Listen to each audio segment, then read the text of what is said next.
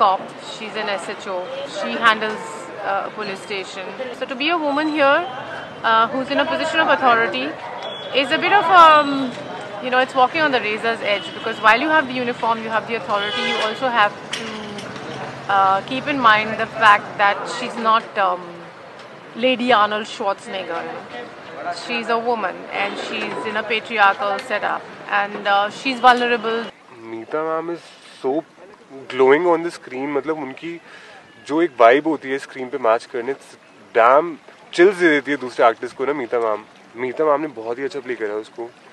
मतलब मैं तो सोच भी नहीं सकता था कि इतना अच्छा कोई प्ले कर सकता है। My dad was in the army, so I've always had a huge love for the uniform. So when you get into a, any uniform, including a police uniform, there's something it does to your whole body. You know, a uniform does something to your body. You don't kind of sit like this in it. You sit like that. Getting into this uniform does something to your body right away. Doing your hair in a certain way, the side parting, is a conscious decision. It's I could have had a middle parting, but that would have brought it too close to certain other ways of looking. A side parting gives you a certain, and then I oiled my hair so that it stays black and sleek.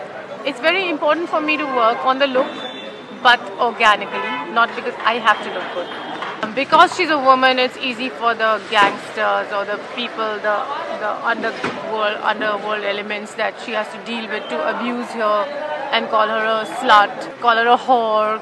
You know, very easy for them to slam her, saying that she's basically trading um, favors uh, for sex or whatever. So Kiran Sekhwaz is a character who has authority, she's tough, she can be ruthless, she's superbly intelligent, she is also vulnerable and she knows it all. She's not stupid about how vulnerable her position can get. The web series is packed with really great talent is what I have to say for all my co-actors.